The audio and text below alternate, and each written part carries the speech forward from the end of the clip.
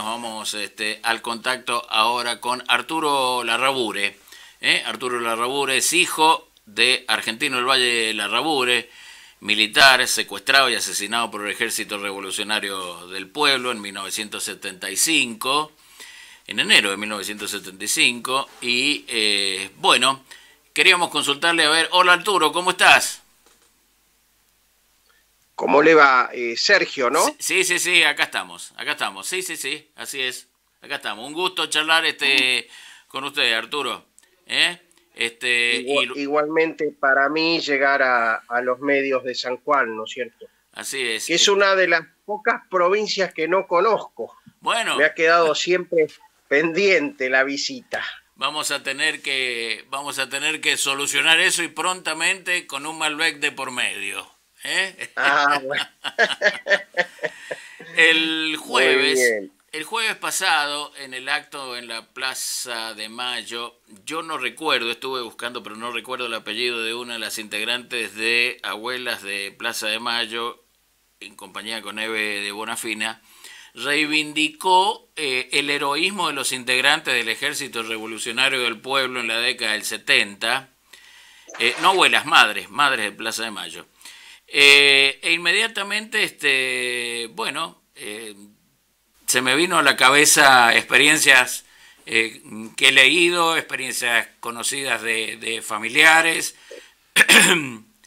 de los dos lados, y quise hablar con usted porque este, si algo pasó este, y que tuvo tanta incidencia en la historia nacional, es el intento de copamiento de Azul, ¿no es cierto? Este, del regimiento de Azul, donde su papá estaba ahí, donde, bueno, este, ya eh, quería que contara un poquito lo que sucedió a usted y lo que le tocó vivir al, al eh, coronel eh, argentino del Valle de la Rabure, ¿no? A partir de ese día en ah, enero. Hago, hago, Sergio, perdón, algunas correcciones. Sí.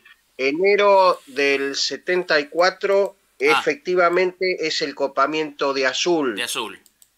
Donde lo secuestran Ibarzábal, asesinan ah. al coronel Gay, a su esposa, sí. matan un soldado que directamente es degollado, que estaba de guardia.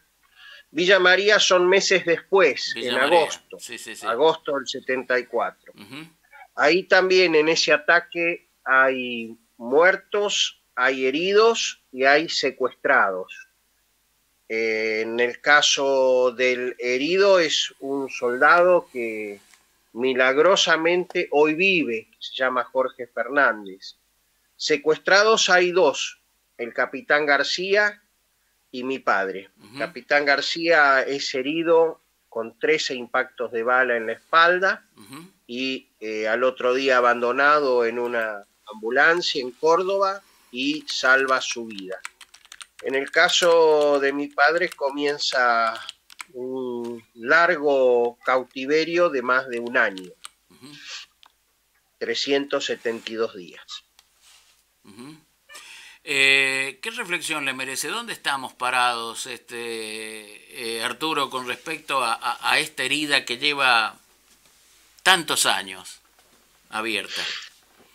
Yo, yo creo que estamos eh, muy mal parados, estamos en una grieta que no tiene al menos solución, porque si aquellos que, por ejemplo, han tenido secuestrado a, un a una persona indefensa, que no tiene armas, que está atado al camastro, que esté en un sótano donde la única luz que tiene es eh, artificial, donde no puede prácticamente respirar, salvo que le aprieten eh, una llave para que entre el, aire enrarecido de, arriba.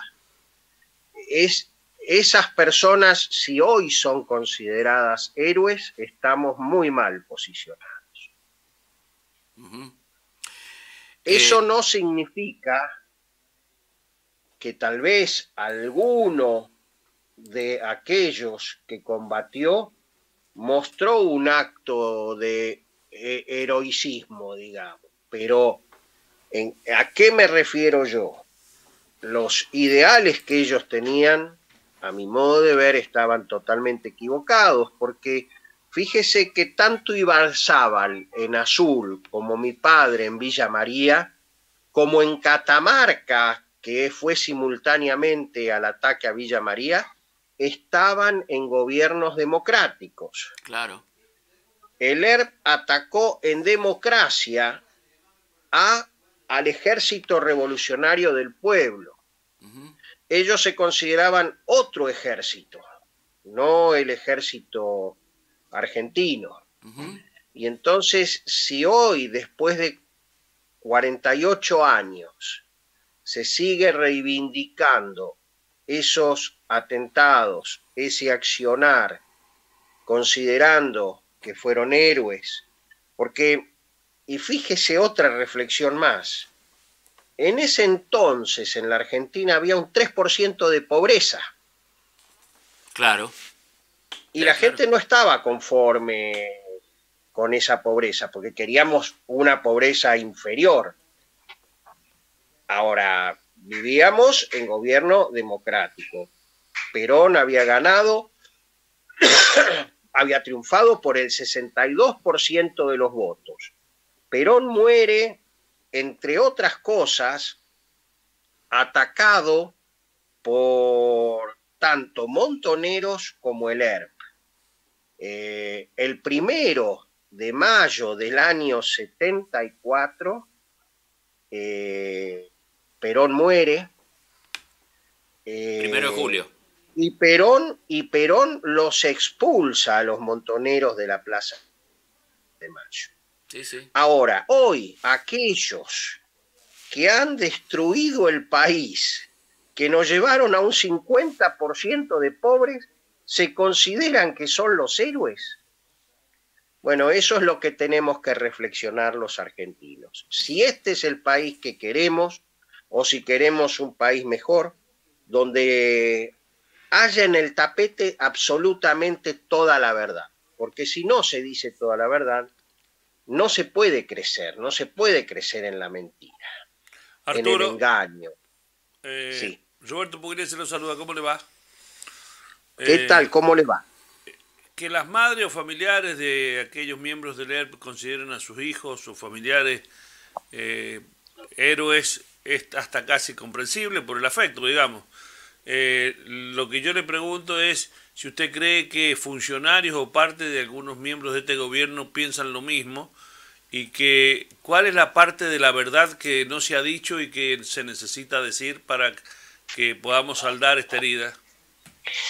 Bueno, eh, eh, a eso también me refería. Es casi comprensible que los, las madres consideren a sus hijos, porque uno, bueno, este, yo tengo una esposa con cinco hijos y mi esposa por sus hijos hace cualquier cosa, ¿no es cierto? Todas las madres hacen cualquier cosa. Eh, pero hay muchos integrantes del gobierno actual que inclusive combatieron. Podemos hablar del ministro de Defensa, que estuvo preso, se niega el pasado de este hombre. Eh, se puede, se niega también el pasado de Zanini, por ejemplo, que combatió. Y así le puedo ir nombrando a un montón de personas que están en este gobierno, inclusive sus hijos, porque parece que este, acá hay algo heredado.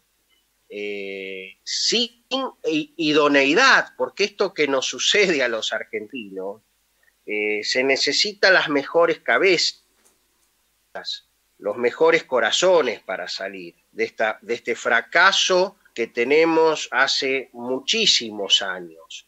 Entonces, este, bueno, para mí eh, hay que mirar profundamente, hay que analizar, porque a la pata de esta mesa le faltan partes usted, si niega los 21.000 atentados terroristas que hubo en la década del 70, le está faltando una parte a la, historia.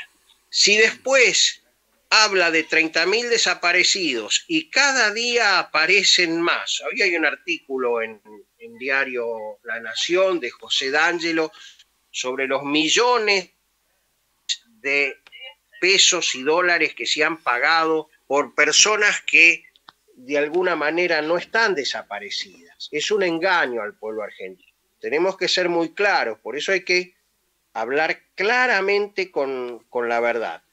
Uno no deja de reconocer que vivimos una guerra fratricida, terrible, pero que nosotros no llamamos. ¿eh? Esta guerra nos la impusieron los jóvenes de los años 70, que ellos luchaban por un mundo mejor. Yo pregunto, ¿este es el mundo mejor?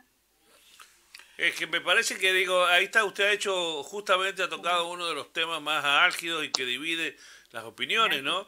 Y usted habla de una guerra entre dos sectores con capacidad eh, similar, sin embargo hay desde el, otro sector, del otro bando, la otra vereda, como se le quiera ah, decir, hablan de terrorismo de Estado, digo, de la innumerable eh, eh, fuerza del Estado que en vez de usar la ley usó las armas eh, para reprender a aquellos que se animaron a levantarse contra la nación.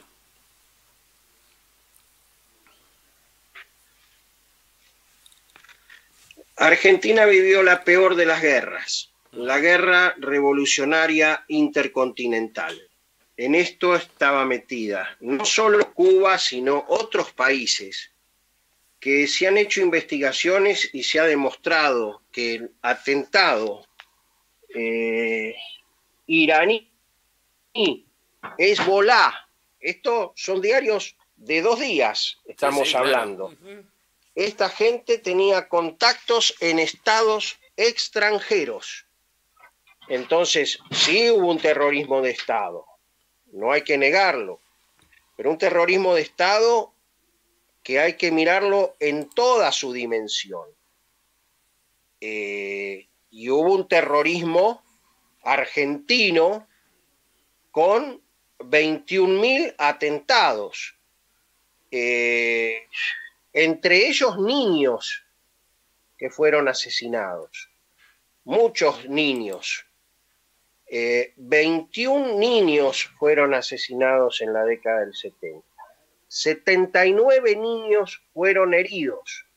Basta buscar el libro Los otros muertos y ver la documentación y va a ver que hay 17.382 víctimas civiles inocentes que no tenían nada que ver con la guerra, que cayeron por las balas de aquellos que se consideraban jóvenes idealistas. Eh, lamentablemente, lamentablemente, en este momento Argentina como va no tiene solución, no tiene solución. Eh, Porque sí, sí, sí. las víctimas del terrorismo nunca fuimos convocadas a absolutamente nada, ni siquiera a poder expresar nuestras opiniones como estoy haciendo yo en este programa y se los agradezco muchísimo. Pero somos muy pocos los que tenemos la posibilidad de expresarnos. Y son contadas las ocasiones. Eh, Lamentablemente estamos viviendo una, un país muy diferente del 70 ya tendríamos que haber terminado con ese tema del 70, porque un país que quiere crecer debe mirar para adelante y no seguir hablando del pasado. Eh, Arturo, eh, ¿cuánto tiempo más se puede seguir eh, reescribiendo esta historia con un ojo mirando y el otro ojo tapado? Cuánto más, este, cuánto más, cuántos años más, digamos, este, soporta eh, tener el testimonio de lo que usted dice de un sector y no de todos los sectores que estuvieron involucrados en esto. No, ya yo creo que la sociedad argentina no, no quiere más eso. Fíjese que Seferino Reato, hemos hablado del Seferino Reato, no solo ha escrito el atentado contra Rucci en el año 73, pleno gobierno democrático, estaba Cámpora. Eh, después el ataque al regimiento 29 de Infantería de Monte, asesinados 10 soldados. Después el Viva la Sangre de la década del 70. Y el último libro de Reato, Masacre en el Comedor, cuando de alguna manera eh, se, tambalea la figura de Rodolfo Walsh, porque Rodolfo Walsh fue el ideólogo de ese ataque. Entonces, una persona que ejecuta terrorismo puede ser homenajeado? Yo creo que no. Cuanto más libros haya como los que ha escrito Seferino Reato, antes se va a terminar eh, este, este relato, que de alguna manera ya en las redes sociales, si usted se fija, eh, ya hay mucho conocimiento, porque cuando nosotros no tuvimos oportunidad de expresarnos en los medios de comunicación tradicionales, recurrimos a las redes sociales. Y entonces ponemos nuestra verdad. Eso no significa que nuestra verdad sea verdadera. Nosotros consideramos que sí, pero la dejamos para que la analice aquel que la quiera analizar. Entonces, eh, me parece que no tendría que hacer falta muchos más libros, porque ya hay, de hecho, libros como escribió sobre el, secuestro de los hermanos Bohr, el atentado de Aramburu, y estoy hablando de María O'Donnell, que hizo esos dos libros, o libros que ha escrito Joffre. Eh, hay mucha bibliografía ya. Ahora, si la gente no la quiere leer, no la quiere mirar y sigue pensando que aquellos que nos atacaron en democracia eh, son los adalides de la justicia, son los paladines que tienen la verdad, que merecen indemnizaciones multimillonarias, aún, aún sin tener condiciones para recibir esas indemnizaciones. Como los libros de José D'Angelo, hay mucha bibliografía. Arturo, muchísimas gracias por el testimonio y vamos a seguir este en contacto. ¿eh? Muchas gracias a ustedes ¿eh? y permanentemente en contacto cuando lo deseen. Gracias, ¿eh? tenemos un amigo en común justamente que es Seferino Reato, así que vamos a...